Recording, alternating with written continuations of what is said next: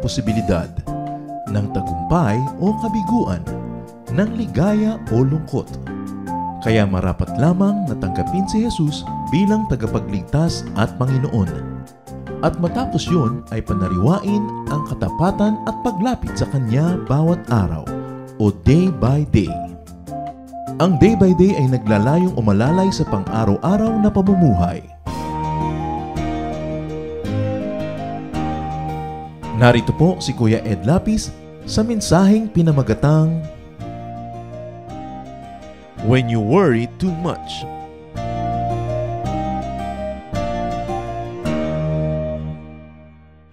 Walang lugar ang sobrang pag-alala sa buhay ng nakakaalala na ang Panginoong Hesus ay hindi lang buhay, kundi nananahan sa puso ng bawat mananampalataya. Maraming tao sobrang mag-alala. At kung tutuusin, marami naman talagang pwedeng katakutan sa buhay. Pero mahirap na gawain ang laging mag-isip at mag-alala. Ang ating pong pag-aaral ngayon tungkol sa pag-alala ng labis, when you worry too much. Pag sobra kang mag-alala, mamroblema, ano kaya ang dapat gawin? Salamat Panginoon dahil kayo'y buhay at kayo ang buhay na siyang pwede naming asahan, pagmulan ng aming sigla, ng aming pag-asa. Turuan niyo po kami, Panginoon, na laging maalala ito at ngayon sa aming pagtitipon, mangusap po kayong may kapangyarihan. Pauwiin niyo po ang aming mga pangamba, mga alalahanin, Patawarin niyo po kami sa aming mga kasalanan at linisin niyo kami sa aming mga karumihan. Punan niyo po ang aming mga kakulangan at paging dapatin niyo kaming tumanggap ng karunungan, pagpapala, pagpapalaya mula sa inyo. So we ask you, Father, to be the speaker. Enable us to bask in your glory, Lord, in your love, and to enjoy your presence, and to be liberated and empowered by your word. Speak powerfully, We reject all lies and falsehood in the name of Jesus our Lord, and may your truth set us free. Father, we thank you in the name of your Son, our Lord Jesus. When you worry too much, you might be having too much idleness. Pag ang isang tao maraming panahong mag-alala, siguro maraming sobrang free time. Hindi masyadong abala, hindi masyadong busy. Sabi nga ng Handbook of Proverbs na tinipon pa noong 1855, an idle mind is the devil's workshop. Ang isip na hindi puno ng mabubuting bagay, pinupuno ni Satanas ng mga alalahanin at mga kasalanan. So ang dapat gawin kung sobrang maraming panahon para dyan, get busy or get busier. Kaya marami po sa nagkakaedad na mas magpag-alalahanin. Warrior. Kasi maraming panahon mag-isip. Laging nakaupo, nanonood ng paglubog ng araw. Madaling araw pa lang ay mga gising na. At kung minsan ay hindi pinapayagan ng kalusugan nila na sobrang maging aktibo, marami tuloy oras mag-isip. Kaya maaari namang punuin ang isip ng ibang bagay at nang hindi magkaroon ng lugar ang pag-aalala. Pero ang maganda, lalo't pinapayagan pa tayo ng ating katawan, is maging abala sa pagkilos. Work Because work tires our body and shuts off our minds. Try tiring yourself during the day with work, with exercise, because moving good, moving well, is good for us. It gets our blood flowing at naitataboy ang mga pangungulila, ang mga kalungkutan. Kaya mahalaga ang tao busy. Pero yung sobra namang busy, ganun din ang nangyayari. Because too much preoccupation can backfire sabi nga na, many fears are born of fatigue. Pag ang isang tao ay sobra-sobra din namang pagod, ang isip niya nagkakaroon din ng mga kalungkutan at alalahanin. When you worry too much, baka wala ka masyadong tanim na mabuti at natatakot kang umani ng itinanim. Baka marami ka pang tanim na masama, kaya nag-aalala ka tuloy. Kasi kung marami ka itinanim na mabuti, nananabi ka sa pagdating ng bukas dahil baka mamunga na ang mga itinanim mo. Galatians 6.7, Do not be deceived. God cannot be mocked. A man reaps what he sows. Hindi tayo pwedeng dapat magpadaya kung ano itinatanim daw ay inaani. Kaya kung nakapagtanim na tayo ng maraming hindi maganda sa buhay, it's time to uproot bad plants. Pwede pa naman niyang bunutin, may pag-asa pa Kahit nakapagtanim ka na at nalaman mong damo ang itinanim mo, hindi maganda, bunutin. Stop doing wrong kung ginagawa yun at nagawa na. Repent and seek forgiveness. Maraming nabuburang utang pag humihingi tayo ng patawad at tayo ay nagpapakumbaba. At ang dapat gawin habang may panahon, magtanim ng mabuti. Kahit naman may edad ka na, marami pa ring oras para gumawa, magsabi ng mabuti. Ang old age nga, ang pinakamagandang panahon para ituwid ang mga liko, itama ang mga mali, at tapunan ng liwanag ang mga madidilim na bahagi ng ating nakaraan. When you worry too much, baka kulang sa pananalig Perhaps you're lacking in faith. So Matthew 8, 24 to 26, without warning, a furious storm came up on the lake so that the waves swept over the boat. But Jesus was sleeping. The disciples went and woke him, saying, Lord, save us. We're going to drown. He replied, You of little faith, why are you so afraid? Then he got up and rebuked the winds and the waves, and it was completely calm.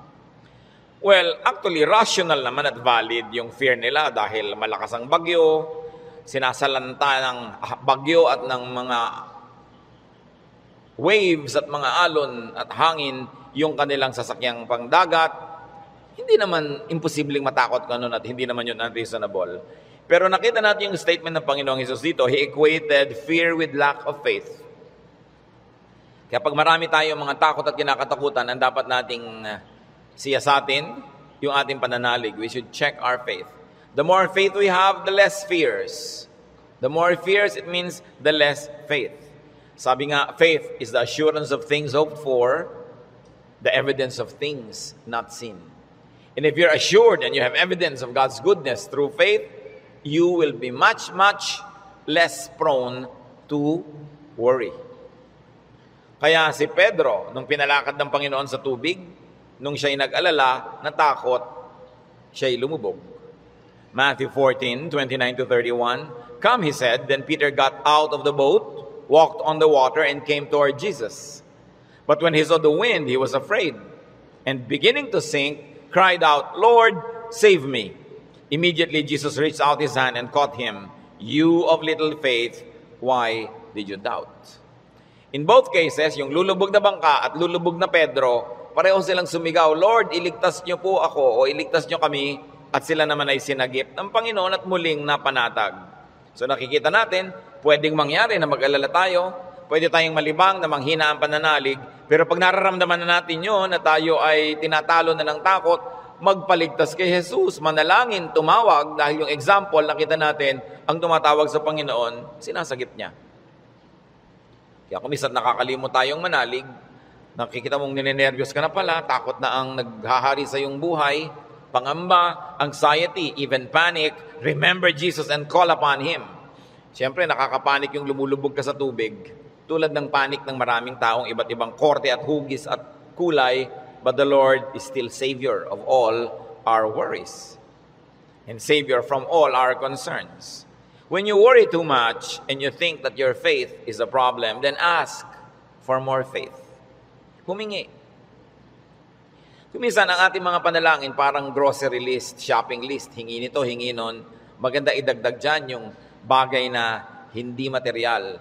Humingi ka ng karagdagang pananalig, tibay ng pananalig, sapagkat yung taong may tibay ng pananalig, kahit anong bagyo ang dumating, kahit anong warning at signal ang marinig, hindi siya nababagabag. Mag-alalaman, konti lang. Hindi siya natatalo at uh, hindi siya nasasakal ng takot.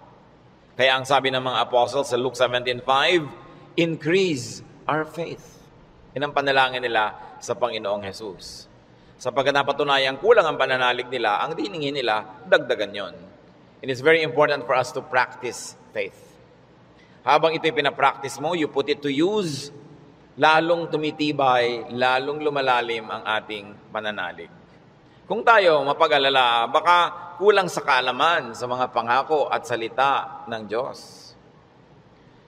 Kung alam kasi natin ang mga pangako at salita ng Diyos, halos lahat ng concern natin covered. And I dare believe every concern is covered.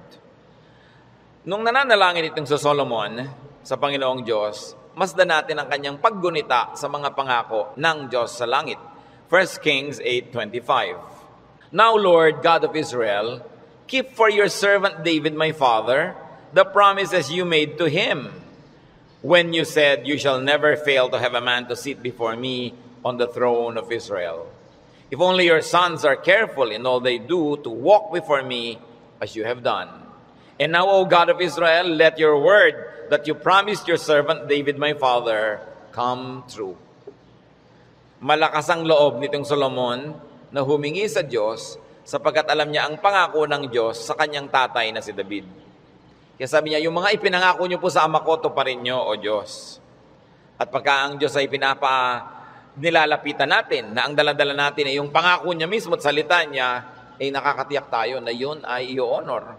Because God will always honor His word. Solomon, knowledgeable of God's promises to his father, claims it. So it's important for us, bago dumating ang worry, bago dumating ang fear, to know, then to claim and apply God's provision. Hindi kung kailan ka na nag-aalala at natatakot, doon ka pa maghahanap at mag-aaral, baka sa kalituhan mo, wala kang makita. Kaya mahalaga, mag-aral na agad. Sa uluhin ng mga salita ng Diyos, at i-quote sa sarili mo, i-quote sa pinoproblema mo, ang mga pangako niya. Bagamat kung hindi mo yung nagawa at may problema ka na naghahanap ka pa rin, kapakipakinabang pa rin yun.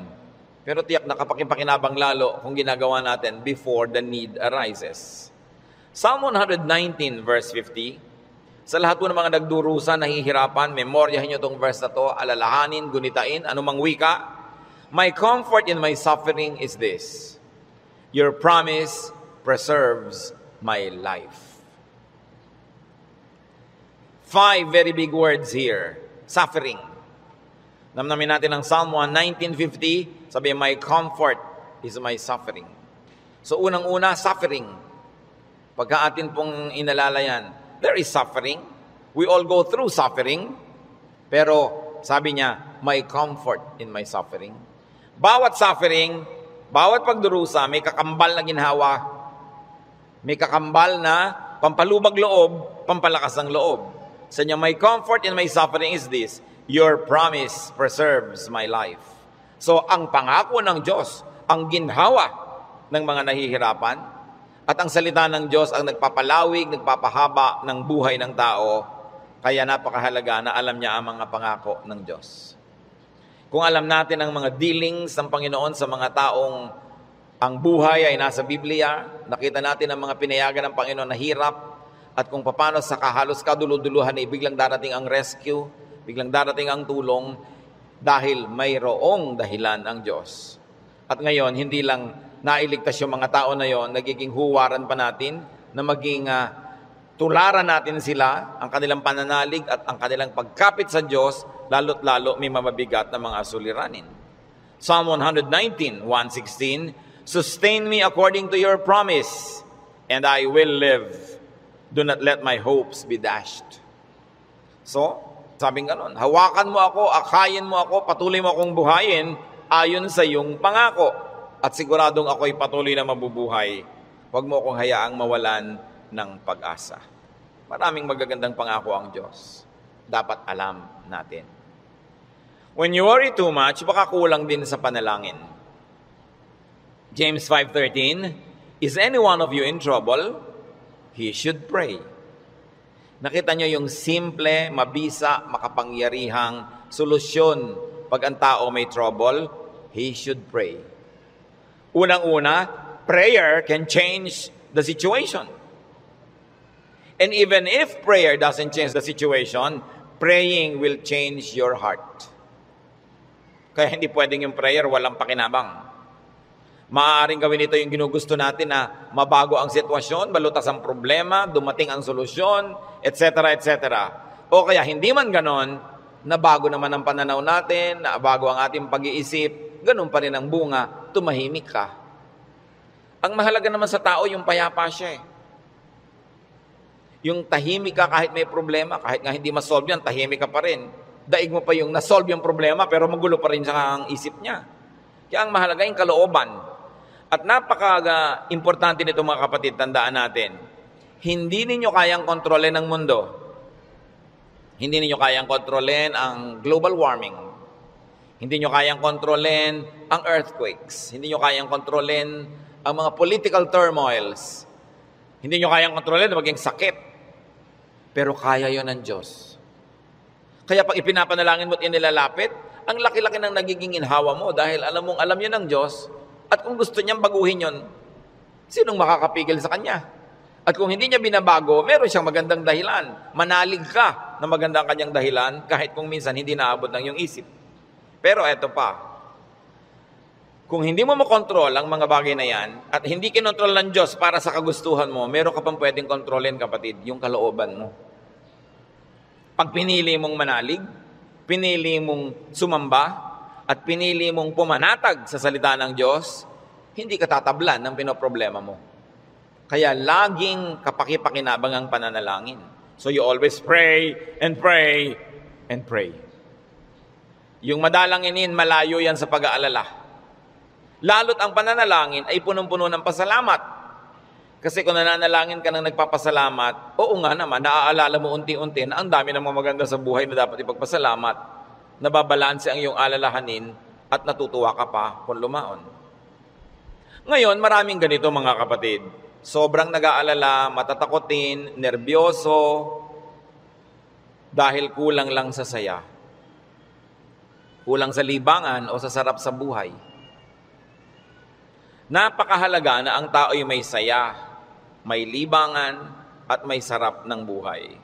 Kaya marami mga tao naghahanap ng aliw kung bakit marami naman sa atin, kahit nakakaranas tayo ng hirap, nagiging judgmental tayo sa mga nag-aaliw. Ano naman masama sa mag-aliw? Kung hindi mo ninanakaw ang yung aliw, wala kang pinapatay, wala kang ginagawa ng masama.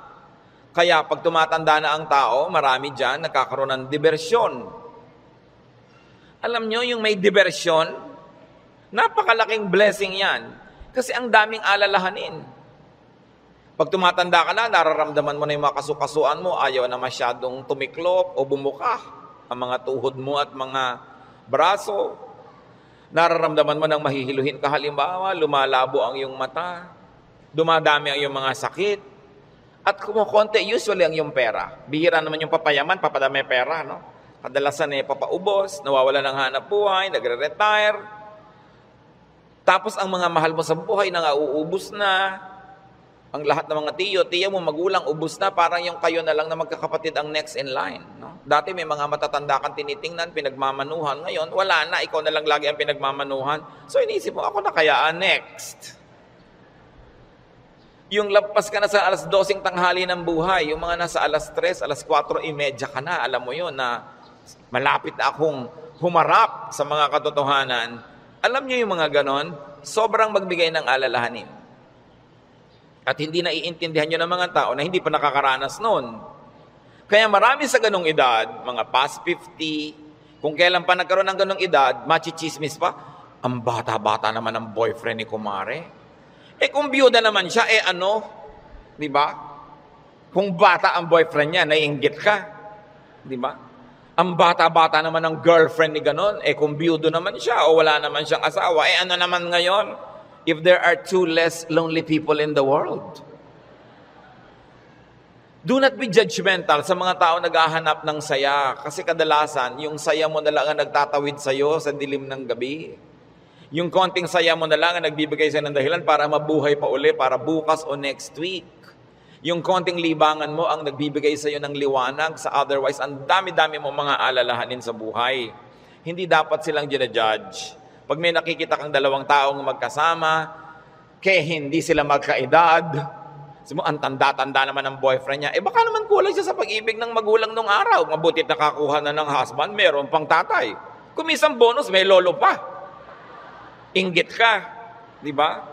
Kung minsan naman, bakit kaya ang bata-bata nang nagugustuhan ito, eh may edad na siya? Eh kung puro kapwa matanda niya ang nakikita, ang pinag-uusapan laging arthritis, blood pressure, blood sugar, mga katarata, no, glaucoma, nakaka-depress. Kaya kung minsan masarap kasama yung bata na walang iniisip ng mga alalahanin, puro happening at gimmick ang naiisip, nalilimutan mo mga problema mo. At yung problemang hindi na-solve, malaking bagay kung nalilimutan man lang kahit sandali. Because you keep your sanity and you keep your cheerfulness. Mga kapatid, huwag kayong killjoy sa mga taong humahanap ng ligaya. Kasi hindi nyo naman papaligayahin eh. Halimbawa, yung nanay niyong byuda, may boyfriend. Eh mano, byuda naman. Bakit sasamahan mo ba siya pag gusto niyang manood ng TV? Sasamahan mo ba siyang manood ng sunset? Hindi rin naman, busy ka rin sa sarili mong asawa at mga anak. Tapos pinagkakaitan mo yung nanay mo, yung tatay mo ng kaligayahan. Ang mga tao kasi maraming dala, maraming problema. Matuwa tayo pag nakakakita sila ng konting itinatawid sila sa ganong mga hirap. Pasalamat ka na hindi na nga ikaw ang magtatawid at hindi na ikaw yung kailangang laging nandoon. People have needs. Kaya kailangang maging maunawain. Kaya kung marami tayong mga alalahanin, baka kulang ka lang sa entertainment. Hindi naman masama yung entertainment eh, basta wala kang binibreak na law of God. Kumisa kasi yung mga relihiyoso kung bakit galit na galit sa mga tao. Hoy, alam mo, Christian na Christian si ano, nakita ko siyang nagbingo.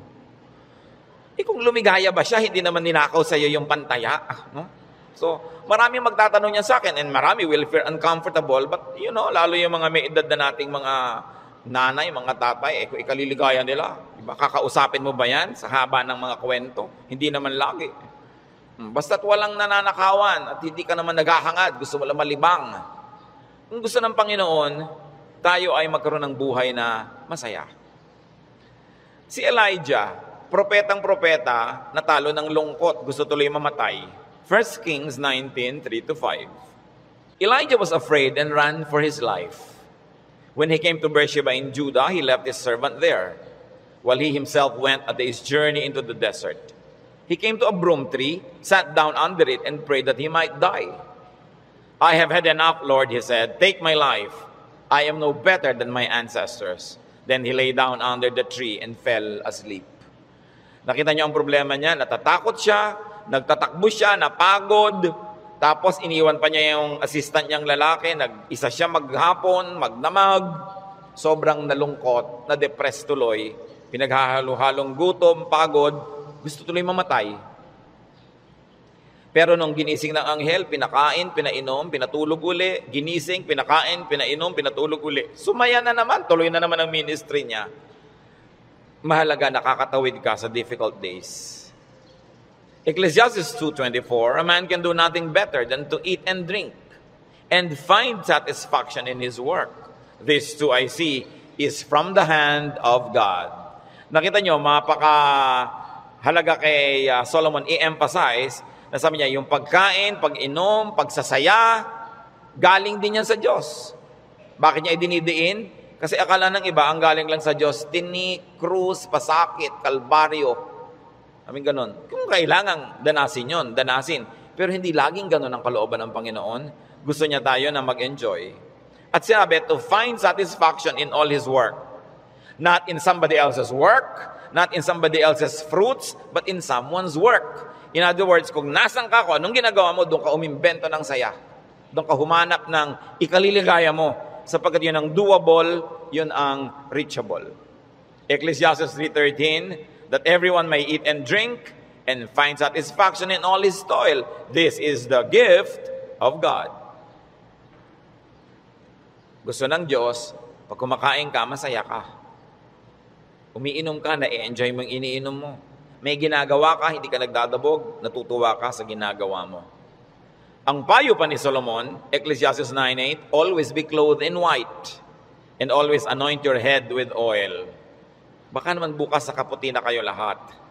Yung puti kasi is associated with linen sa Israel at sa mga disyertong bansa tulad ng Egypt, kaya lahat ng mga nobles laging naka-white, naka-linen. Ibig sabihin kasi comfortable and beautiful. So ang sinasabi ni Solomon, be comfortable, have pleasure, and enjoy beauty even in what you wear. Sa dami ng lungkot ng mundo, pag may konting saya na pwede mong kunin sa hangin, kunin mo. Pag may konting kaligayahan, kunin mo. Kasi maraming kalungkutan na hindi mo pwedeng iwasan. Mabuti na yung marami kang deposit sa alkansya ng saya para pag may panahon ng pagdurusa, may madukot kang saya, pampalakas sa mga araw na malungkot ka. Kaya kung may pagkakataong sumaya, magpakasaya ka. May pagkakataong gandahan ng environment, gandahan mo kasi kuminsan napipilitan kang tumingin sa hindi maganda. Meron kang pagkakataong guminhawa, pag ginhawahin mo. Kasi maraming beses, hindi ka maginhawa at wala kang magagawa tungkol doon. So marambuti na yung marami kang pabaon sa sarili mo na saya, tawa, kagandahan, para pagka panahon ng tagsalat, meron kang panggagalingan ng lakas. Surround yourself with what is beautiful and pleasurable and comfortable. Sabi nga ni Balagtas, sapagkat ang mundo'y bayan ng hinagpis, mamamayay sukat tibayan ang dibdib. At ang isa sa mga pagpapatibay niyan, whenever you can be happy, be happy. So that when sadness that cannot be avoided comes, then you are well equipped because yung balance mo, kahit ma-withdrawhan ng lungkot, yung sayang nakatago, ang balance mo, marami pa rin sayang natira. Kaya ministry natin, mga kapatid, na magpasaya rin sa isa't isa. Hindi magpalungkot. Hindi may nagsasaya, maiinis ka. May nagkakakanta ng I did it my way, babarilin mo. No? Hayaan mo siya magkakanta. Alam mo ba kung anong problema niya sa buhay? Baka kailangan niya ang kidney transplant. Baka yung asawa niya may cancer. Baka ang mga anak niya walang pangmatrikula. At gusto na niyang tumalon sa ilog na walang tubig dahil El Nino. Kaya ang laki ng problema, tatalo ka sa ilog, di ka malulunod. So malaking problema yun. So kumanta na lang siya ng I did it my way kahit wala sa tono, babarilin mo pa. Surviving na nga yung tao. Marami sa atin, they're just trying to survive. Kumisa nagdadamit ng akala mo payaso o Santa Claus o snowman, hindi mo siya maintindihan. Pero kung nagpapaligaya ba sa kanya, hindi naman ninakaw sa iyo yung suot niya, anong paki mo? Hayaan mo siya, masaya siya. Hindi natin dapat ginadjudge yung kapwa according to our standard. Ako, hindi ko isusuot yan. Eh siguro, kontento ka sa buhay mo ngayon, masaya ka. Iba ka may hinahanap siyang ligaya na hindi mo naman ibibigay. Eh ano ngayon kung gano'n ang suot niya? Mahalaga sa spiritualidad, ang tunay na spiritualidad, ang bunga niyan mga kapatid, kabaitan sa kapwa. Ngayon, kung hindi ka mabait, kahit sa ulo mo yung buong Biblia, sayang lang. Para ano? When you worry too much, baka sobra ka ng pakikinig sa balita, bad news. Yung makinig sa balita, manood ng primetime TV, garantisado lulungkot ka. Kung hindi ka naman mawala ng ganang kumain dahil oras ng hapunan. Babae, tinadtad, sinigan, inilagay sa drum, nilagyan ng semento, hinulog sa dagat. Gusto niyo bang panghimagas yan sa inyong paghahapunan? O kaya appetizer, kung late kayo mag... Wala kayong mapapala kapapanood yan. Hindi niyo naman kailangan malaman. Nananakot lang para bumenta. Siyempre, because bad news is good news in journalism. Ibig sabihin, papansinin ng tao. Pag nagpapakinig ka sa mga El Nino, La Nina na yan, mga earthquake, ano, takot ang aabutin mo. Eh, may magagawa ka ba dyan? Ikaw ba si Bernardo Carpio? Sige, pigilan mo ang paggalaw ng lupa para huwag lumindol. Kaya mo ba yan? So, yan ang mga takot na hindi mo naman kailangang entertainin. Kasi wala ka naman magagawa tukol dyan. Kaya manalangin ka. Yan sabi, pray, pray, pray. Siyempre, marami pang nananakot ay padami na ng padami ang tao sa mundo. Actually, pag nag-aeroplano kayo, makikita nyo, ang dami pang lupang walang laman eh. Nagkakagulo lang yung mga tao sa mga bayan-bayan at crossing. Pero ang dami pang maluwag. Napakarami ka lang siksikan kasi because of the imbalance ng eco- economy.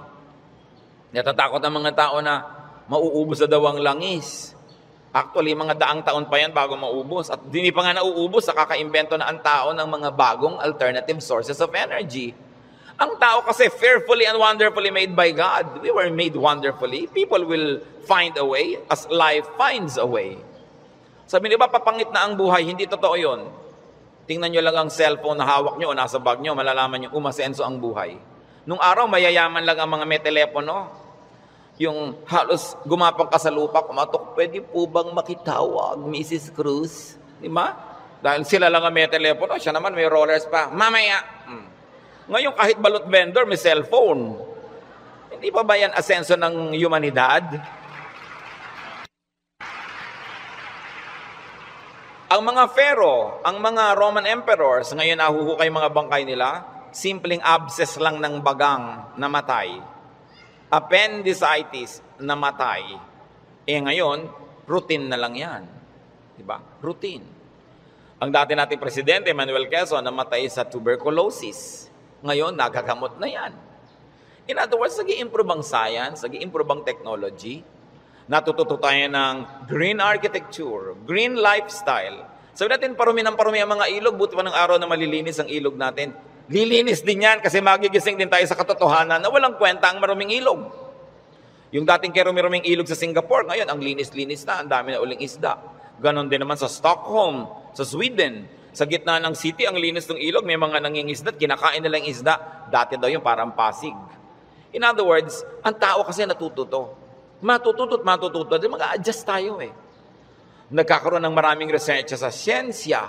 Hindi ba kahit nga ngayon 10, mukhang 30? Hmm. Napapahaba ang kabataan para mag-enjoy pa ng maraming bagay. Yung mga kulot ngayon, gusto mo tuwid ang buhok mo, bukas tuwid. Gusto mo kulot uli next week, kulot. Maraming nagagawa ang tao. Ang pagkain, nung araw nga, bago ka makakain ng palitaw, kailan magigiling ka pa ng malagkit, mga tatlong oras mong ginigiling-giling sa bato. Ngayon, punta ka sa Via Mare, mamimili ka ng lahat. Parang piyesta araw-araw. Maraming tao nung araw, pagka piyesta lang nakakakain ng lechon. O kaya ng karne. Kasi hindi naman available. Pero ngayon, pipiliin mo pa. Puro leg ba? Puro likod? Puro ano? Napipili. Ang trend ng buhay, pag tinan nyo mga kapatid, papaganda. Huwag kayo nawawala ng pag-asa at huwag kayo nagpapalungkot dyan. Kasi God is in control. Ngayon, pag nagpapapakinig kayo din sa mga prophet of doom, sa sobrang prophecy, lulungkot din kayo. Diba? Ang alam natin, ang ending ng lahat ng prophecy, darating ang Diyos o babalik tayo sa Diyos, kung alin man ang mauna doon, yung pa rin ang tunay na ending, no matter what the detail. Kaya nang ating dapat bigyan ng pansin.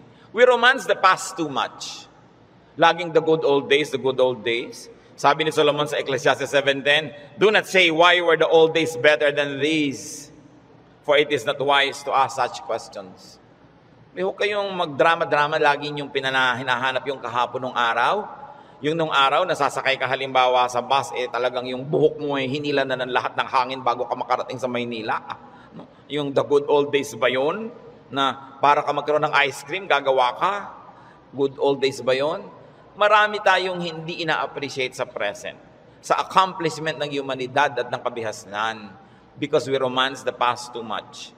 When you romance the past, you will be sad. When you worry about the future, you will be afraid. You know what God wants you to do? Enjoy the day. Enjoy the moment. Yan ang payo ni Jesus. Sabi niya, do not worry about tomorrow. Tomorrow will worry about itself. Let the day's own trouble be sufficient for the day. Yung iba naman, kaya nagwo-worry, sobrang daming alam. Kaya ang sabi sa Ecclesiastes 7.16, Do not be over-righteous, neither be over-wise. Why destroy yourself? Habang marami kang nire-research, maraming inaalam na hindi mo naman talaga kailangan sa pang-araw-araw na buhay mo, dadagdagan lang ang alalahanin mo. And sometimes, even in religious studies, ganyan yan. Marami ngayong mga TV networks nagpapakute para makakuha ng audience, mapanood, Walang ginagawa kundi siraan ng Diyos, siraan ng Biblia, guluhin ang pananalig ng mga nananalig. Tapos pag naman nanood ka ng nanood, nakinig ka ng nakinig, ang ending mo ngayon, malilito ka. Hindi ka ngayon makatulog. Anong bunga nun sa'yo? So huwag mo nalang panoorin. Tahimik ang pananalig mo. Peaceful ka. That is a gift from God. Do not permit the enemy to disturb you. Kaya sabi, why destroy yourself?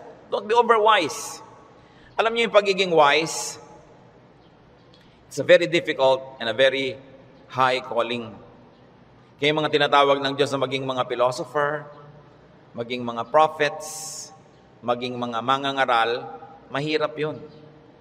Kasi pag lumalalim, tumataas ang iyong alam, nagiging vulnerable ka to so many anxieties and fears. You become vulnerable to a lot of isolation and sadness. Kaya nga yung mga tinawag ng mga special people to be God's channels of blessing and wisdom to others and to the multitudes. That's why we privilege them with respect.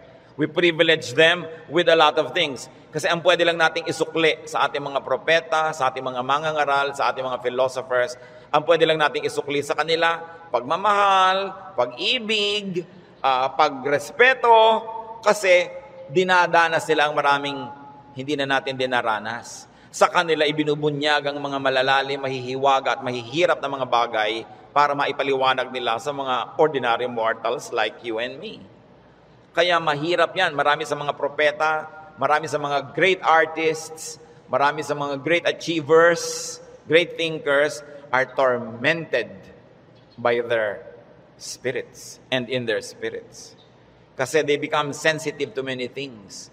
Kaya napakasarap ng buhay ng mga taong regular lang. Kung minsan naiingit ka doon sa sobrang dunong, sobrang galing, kaya mo bang buhatin ang bigat ng karunungan? Mahirap yon. Yung may ipabigay sa iyo ang Diyos, sasabihin ng Diyos, o ipamigay mo na yan dyan sa mga tao, hindi siya madali. Kaya kung minsan may eccentric behavior, no? yung mga great artists na hindi nauunawa ng mga karaniwan tao. Basta tayo mga kapatid may hindi nauunawa, huwag nyo i-judge. Sikapin yung unawain at kung hindi nyo man lang maunawaan, at least leave it alone.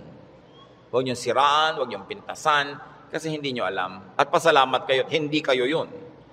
Ngayon, we avoid extremes. Because extreme behavior and extreme thinking also leads to a lot of worry. Ecclesiastes 7.18, the man who fears God will avoid all extremes.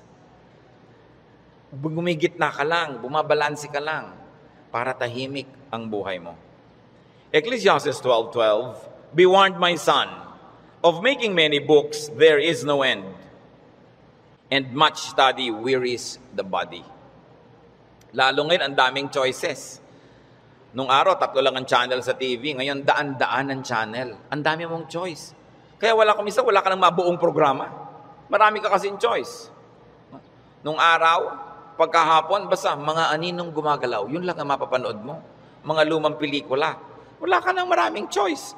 Kuminsan, tahimik pa yun eh. Umorder ka sa restaurant ng tea. Nung araw, pag umorder ka ng cha, o etong cha, ano pong tea? Ang daming tea. Alam niyo, mamahit isang daan yung papapiliin sa inyong waitress. Pagkatapos papapiliin ka pa kung hot o cold. Tapos papipiliin ka pa kung natural o ganito. May sugar o without. Pag may sugar, natural sugar, coco sugar. Ang dami pang sugar. Huwag na nga, tubig na lang. Ang daming choices ng pati ng soft drinks. Gumugulo tuloy. Bakit natin ito binabanggit? Mga kapatid, kung tahimik na ang inyong kalooban sa pananalig niyo sa Panginoon, huwag niyo nang guluhin ng kung ano-ano pa mga ideya. Walang mapapala. Ang kaluluwang palipat-lipat, papalit-palit. Sabi ni Solomon, tigilan niyo na yung kababasa sobra. Sabi ko noon, mapapagod ka lang, matutuyo ang iyong lakas. Sabi ko noon, hindi matatapos yan. Ang ending din naman, haharap ka sa Diyos eh. Kaya kung tahimik ka na, payapa, huwag ka nang pagulo pa. That's why prophets and philosophers and thinkers and teachers are burdened. And the only thing we can give them is to privilege them with respect. Sabi sa Ecclesiastes 5.12, The sleep of a laborer is sweet read laborer as simple man. No? Yung unscholarly man. Sabi ko noon, mas madaling sumaya pag mababaw ka. So huwag mo nang masyadong laliman. Kasi baka walang humukay, para kang nagtago na walang naghanap, lalabas ka rin, mahirap. Pag may mga mababaw dyan, so, ang saya naman nila, mabuti pa sila. No? Yung konting, ay, ay, hangin. hangin lang, tumatawa. Kesa naman ang tali-talino mo, wala na makapagpatawa sa iyo mas mahirap yun. No? When you worry too much, baka kulang ka lang sa food or drink or chemical balance, tulad ng pinag-usapan natin nun.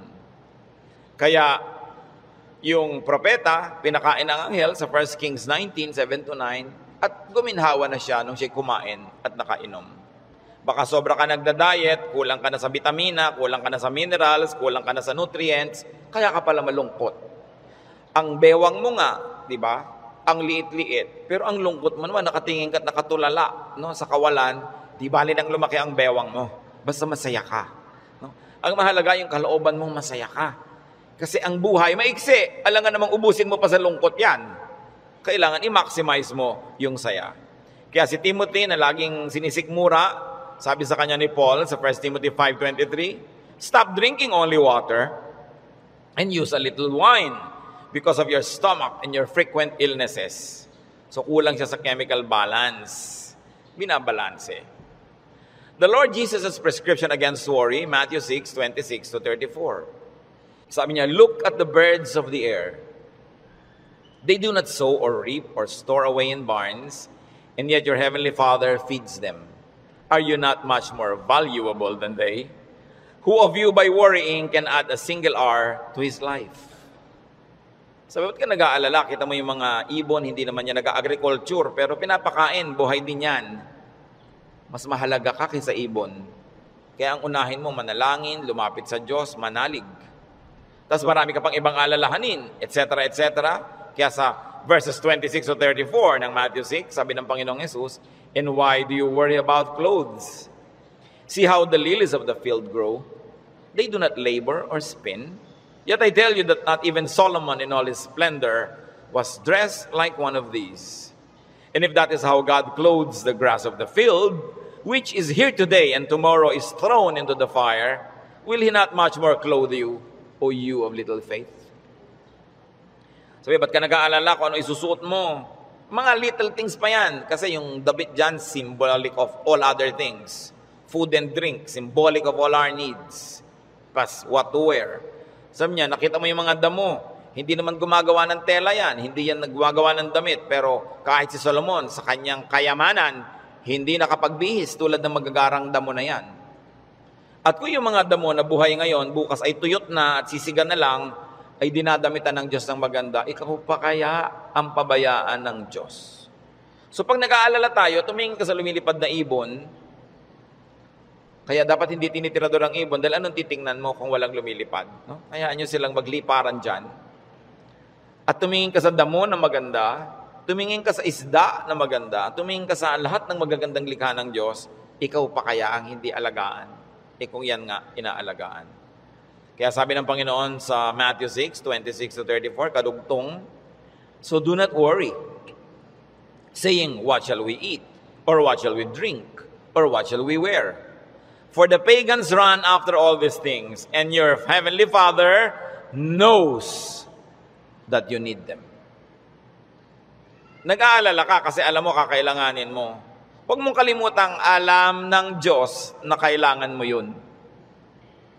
At kung inassignan ka ng buhay ng Diyos na ganito kahaba, alangan namang wala siyang ilagay na provision, eh paano ka mabubuhay? Di hindi matutupad yung plano niya para sa'yo.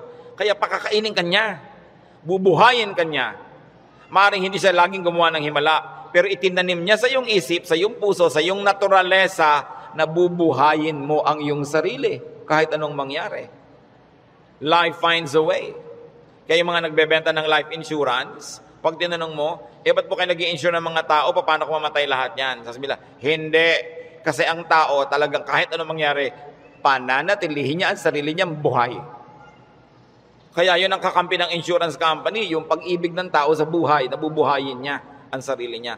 Ikaw ba halimbawa, pag may insurance ka, napapalitan ng paamong naputol, puputulin mo nga para mapalitan. Hindi, di ba? Hindi ko mo may insurance ka, gagawin mo yun. Kasi mahal mo yung katawan mo, mahal mo yung buhay mo itinakda yun ng Diyos. Kaya mananatili ang tao under His care. It is natural to us. So why worry about global warming? Luma na yun. El Nino or La Nina or earthquakes, lalong luma na yun. No?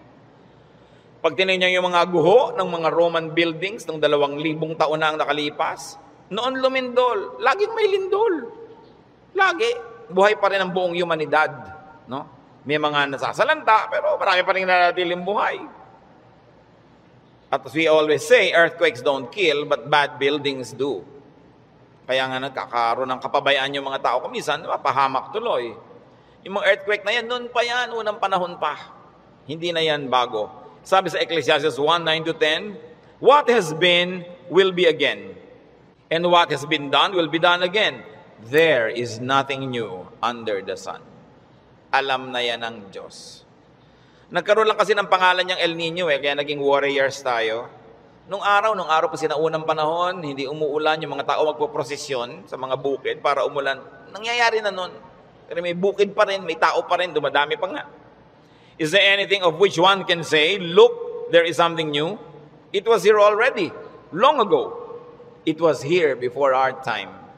And if it was here before our time, then it was God designed, God ordained. It is in accordance with God's will. And if God promises that He will take care of you and He knows the natural things that will happen, God knows how to take care of His people. Yun ang dapat nating panghawakan. Hindi ka padala sa takot, sa mga sensational news. Kapatid, kung ano man ang pinoproblema mo, nandyan na yan, matagal na. Inilagay yan dyan ng Diyos. O kung hindi man, pinayagan niyang malagay yan dyan, alam niya. At kung alam ng Diyos, pwede kang magtiwala. Huwag mong problemahin. Listen, church. Ang problema, nagiging problema kasi pinoproblema. Pag hindi mo pinroblema, di hindi problema. Kaya dalawang tao, dalawang ina, yung isa yung anak, wala pa, alas dos na ng umaga, balisang balisa, hindi makatulog.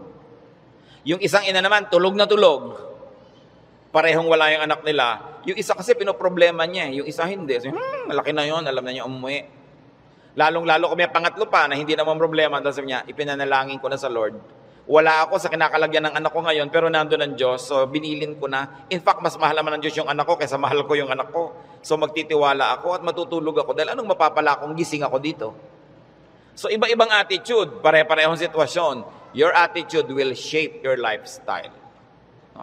No? Ganon yun. Kung minsan merong mga asawa na hindi na halos pansinin ng asawa nila, laging wala. Merong mga nag-aalala, bakit siya laging wala, etc. etc. Meron mga, ay salamat, wala siya. Marami akong magagawa ngayon, walang abala. Nasa sayo yan, kung anong gagawin mo sa buhay mo. Pero hanggang hindi mo pinoproblema ang isang bagay, hindi yun problema. Ngayon, iniisip mo, ano kaya, Pastor, ano magagangyari po pag natunaw lahat ng mga yelo sa North Pole? Lumayas ka sa harap ko, hindi ko alam. Bakit mo ipapaproblema sa akin ng mga yelo sa North Pole? Di ba? Ba't natin po problemahin yan? Magdasal ka, kahit alam ko no kasi lumubog ang buong mundo eh. Gusto ng Lord na lumutang sila Noah, lumutang. Di lumapit ka sa Diyos para kahit lumubog, lumutang ka. Bakit mo pa problemahin yung buong yelo, buong Antarctica? Ang saya-saya ng buhay ko dito, bibigyan mo ako ng problema. Ano po kaya't naglilindol? Eh kaya ba natin pigilin kahit anong gawin natin dito? Diba? But of course, there are practical things you can do to minimize risk and danger. But there's only, you can only do so much. Kaya nga may Diyos eh. Para yung hindi mo kaya, ipasa Diyos mo. Magtiwala ka at mag-enjoy ka ng buhay. Gumawa ka ng mabuti. Kaya tayo gusto ng Diyos na pumanatag, tumahimik, para sa kapanatagan at katahimikan, ma-inspire kang gumawa ng mabuti. Hindi lang para magpasasa sa sarap. Your stability in life, your wealth, your security, your health, should not only be used for your personal enjoyment, It must become the springboard for much nobler missions in life. Na kumbaga, wala ka ng need, so pwede ka na magbigay. Malakas ka naman, pwede kang tumulong. Tahimik ang loob mo, pwede kang umakay, umunawa sa mga magugulo ang loob. Kaya gusto nating pumanatag, umayos, hindi lang para magpasarap. Para magawa natin yung misyon na ibinibigay sa atin ng Diyos na maging blessing tayo sa ating mga kapwa-tao. So, brothers and sisters, think about the things you worry about It's your decision if you like to turn them into problems. Pag pinroblematize mo. Marami mga tanong pa, mga doktrina na hindi natin alam. Ano po kaya ang itsura natin sa langit? Hindi natin alam. Ang problemahin mo, mapasama ka doon. At alam natin yan, manalig ka sa Panginoon, humingi ka ng tawad para sa iyong mga kasalanan, tanggapin mo si Jesus sa Panginoon tagapagligtas, at siya na ang may problema sa mga detalye. Bakit mo pinoproblema? Eh kahit naman tayo magtalo, mapuyat, hindi natin masasagot. Ipa sa Diyos ang mga bagay. Ito ang isa sa mga pinakamalalalim na regalo ng Diyos sa atin sa pananalig. Nagkakaroon ka ng kapayapaan.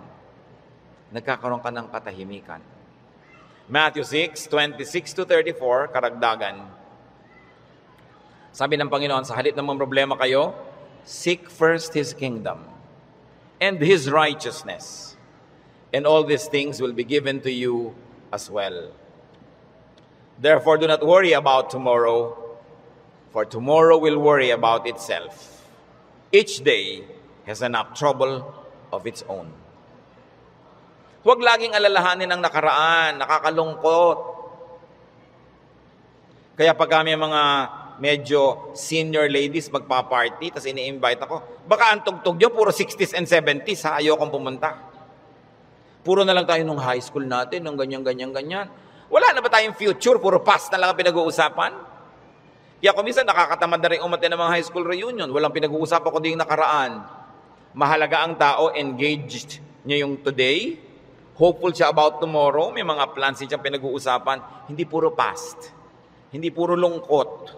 Kasi sayang ang isang araw na inubos mo sa lungkot, eh pwede mo namang pasayahin. Okay, maganda rin naman kumisang makinig ng mga lumang tugtog, mag-alala ng kahapon, pero huwag sobra. Because when you romance the past, you will be sad. Marami pa tayong, kaya hindi pa tayo kinukuha ng Diyos. May today pa, para mabuhay tayo today. At yung bukas, hawak niya yan, hindi natin hawak. So, yung agawin sa Kanya. Kaya nagiging mabigat, inaagaw niyo sa Diyos yung pagbuhat sa past. Pero yung today, kayang-kaya nating hawakan sa tulong ng Diyos kasi ibinibigay niya sa atin yung today. So sabi niya, ang alalahanin mo lang yung today. May maiinom pa po kaya tayo, Pastor, sa 2020? Ang layo pa nun. May, ta- may tubig ka ba sa bahay mo ngayon? Meron po, oh, masaya ka na. Bukas, lalagyan ulit yan ng Diyos. Sabi, give us this day our daily bread. Bakit mo lulutasin yung problema ng isang buong buhay sa isang araw? Yung lakas mo para lang sa problema ng araw na to, inuubos mo sa napakaraming araw na problema, kaya kinakapos. Pero lahat ng problema sa araw na to, kasya ang pagpapala ng Diyos sa araw na ito. Kasya.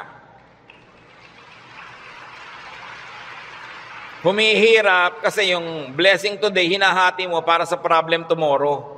Yung problem tomorrow, may kasamang blessing niya yung nakakambal. So yung ngayon ang atupagin mo sa buhay. Hindi ibig sabihin na hindi ka na magpaplano ng future. Nagpaplano ka generally, but you don't get obsessed with that. But don't fail to live the moment, to savor the moment, because it will never happen again. Alam nyo, kahit anong iniintay nyo, pag wala kayong ginawa kundi hintayin yon, ganun lang pala, sandali lang tapos. Araw ng kasal, anibersaryo, fiesta, event, ang tagal mo pinaghahandaan, tapos ang dali lang natapos, sasabi ay tapos na. Marami kasi, nahihirapan silang ihanda yung darating pa, pero pag nangyayari na, they are too busy trying to be perfect, hindi nila na-enjoy. Tapos, tapos na. Wala na, lugi na sila. So, enjoy the moment. Pag kami ikinakasal ako, may ibinubulong akong gano'n. Minsan may tinatanong sa akin, ano po yung ibinulong nyo, Pastor? May mga pakialamera kasi pati ibinulong mo, tinatanong. Sabi ko, wala. Sinabi ko lang, pagkakainan na, kumain kayong mabuti. Huwag kayong mag-entertain na mag-entertain ng mga bisita. Tayo kayo ng tayo.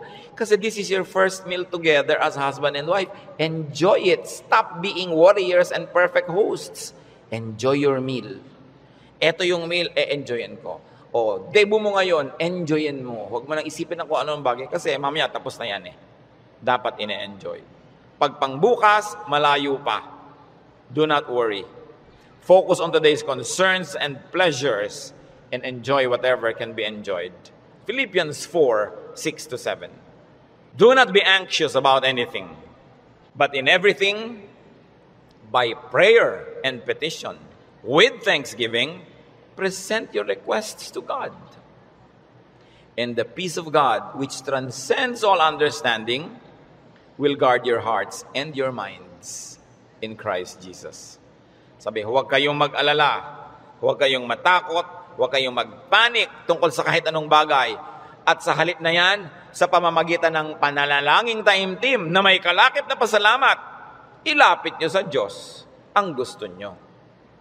Sabi niya, at makikita nyo, yung kapayapaan ng Diyos na mahirap unawain, imposibleng makamit, mararamdaman ninyo and you will feel secure. So pagka nagigita yung anxious mga kapatid, nag-aalala, anong dapat gawin? Pray. With thanksgiving. Hindi lang prayer, puro request. May thanksgiving. Kasi nga, habang naaalala mo yung pagpapasalamat mo, naaalala mo, oo nga naman, maraming maganda sa buhay. Pati ikaw, nababago. Don't be anxious about anything. So do not problematize life in its details. In 1 Peter 5 7 is so very, very powerful. Cast all your anxiety on Him because He cares for you. Sabi, ibigay nyo kay Kristo ang inyong mga alalahanin. Kasi mo, Lord, nag-aalala po ako tungkol sa buhay ko, nag-aalala ako tungkol sa impyerno, nagpapaalala ako tungkol sa buhay na walang hanggan, sa kabilang buhay, nag-aalala ako tungkol sa kakainin ko, sa ganito, sa ganon. Sabi ni Jesus, eh, binayaran ko na yun sa cross. Bakit inaalala mo pa? Bayad na yan ha. Kaya sabi, cast all your anxiety on Him. Kasi bayad na.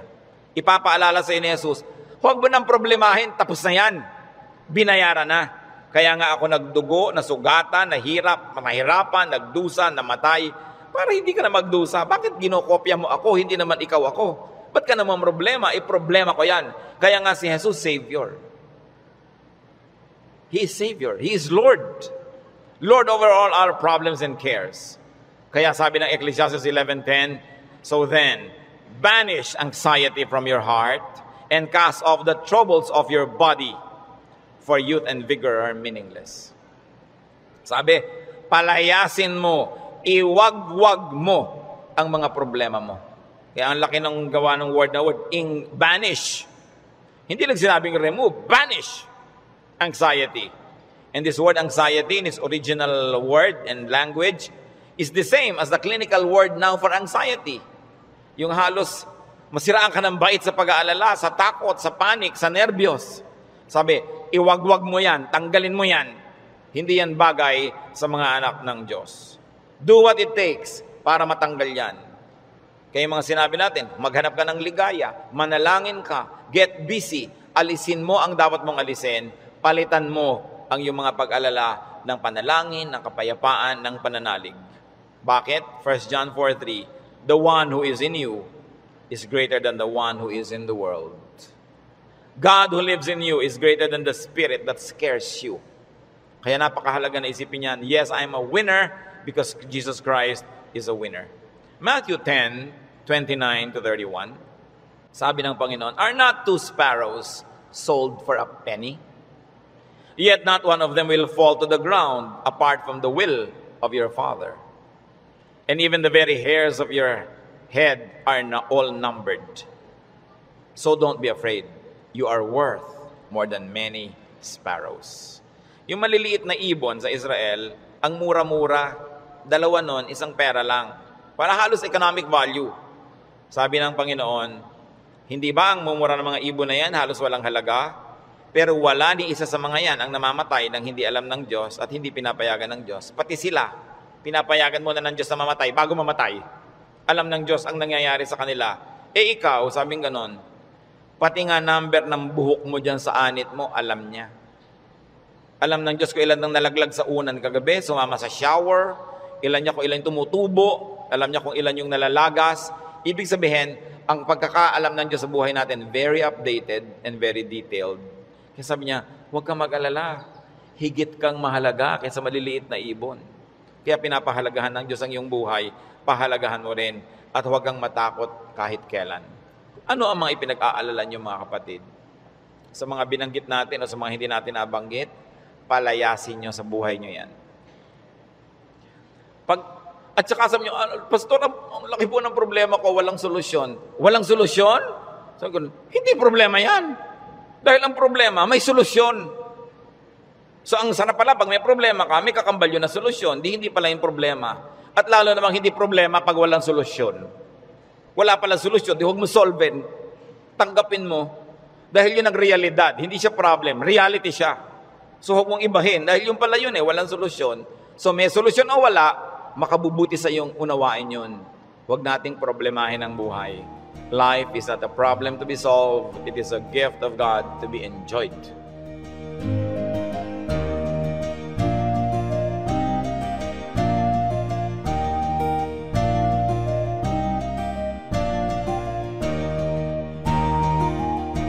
Ang katatapos pong mensahe ni Kuya Ed Lapis ay pinamagatang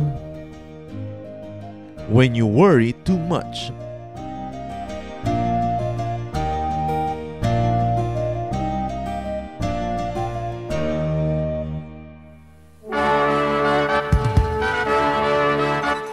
Halina't sama-samang sumamba at magdiwang sa Day by Day Jesus Celebration kasama si Kuya Ed Lapis Bulwagan ng Panginoon PICC, one Sunday a month, Philippine International Convention Center, Rojas Boulevard, Pasay City. All other Sundays sa mga day-by-day mini bulwagan ang pagtitipon. Para sa buwan ng Nobyembre, gaganapin ito sa November 3, 2024. 8 a.m. ang First Jesus Celebration, 10 a.m. naman ang Second Jesus Celebration. Para sa iba pang detalye, bisitahin ang ating official Facebook page, Day by Day Friends.